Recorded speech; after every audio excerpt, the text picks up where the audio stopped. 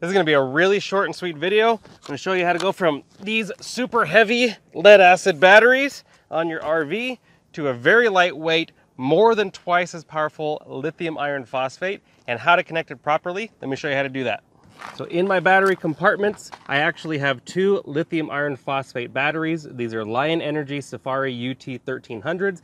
These are my favorite go-to lithium iron phosphate batteries. The Battleborns are also very good, but I will include a $100 coupon that goes for these batteries. I like them because they also have this charge meter built in. BMS, all of that wonderful stuff. They're very lightweight, they're lighter than the Battleborns. The few basic connections you need, I have this red, which is my RV main positive, this white, which is my RV main negative. Because these are two batteries in 12 volts, we need to wire them in parallel.